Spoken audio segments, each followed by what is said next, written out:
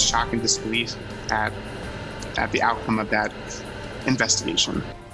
No criminal charges. Community leaders are reacting to the district attorney's decision not to charge the officer involved in this controversial arrest in Allentown. That arrest video from the Lehigh Valley went viral. Thank you for joining us, everyone. I'm Ukee Washington.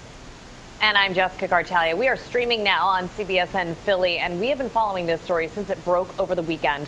Let's get straight to Natasha Brown with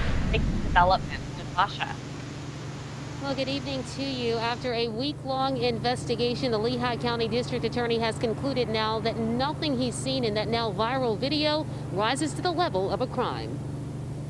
This video showing an Allentown police officer kneeling on a man's neck and head has sparked calls that he be suspended from the force pending the conclusion of an investigation. The incident happened on the evening of July 11th outside of an Allentown hospital's emergency room. The video sparked protests and demonstrations throughout the area. Despite calls for firings, the Lehigh County District Attorney has now concluded that, quote, based upon my review and the totality of the circumstances surrounding this event, I have concluded that there is absolutely no evidence to support filing criminal charges against either of the Allentown police officers involved in this incident.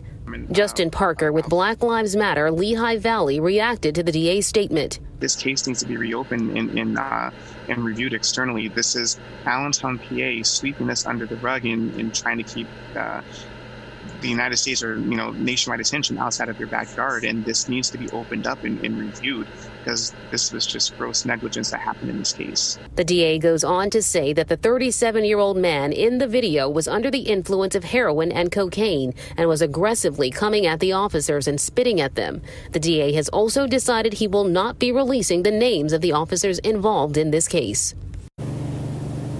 Well, we have also received a statement from the Allentown Police Chief, and it reads in part, quote, our internal review by the Office of Professional Standards as well as our use of force review process has determined, along with the District Attorney's independent findings, that there is no basis for any discipline of the officers involved. Now, leaders with Black Lives Matter Lehigh Valley are certainly not satisfied with the conclusion of this investigation. They have insinuated that there will be more protests, more demonstrations to highlight their thoughts on this matter. That's the very latest for now. Reporting live, Natasha Brown, CBS 3 Eyewitness News. Natasha, thank you for that.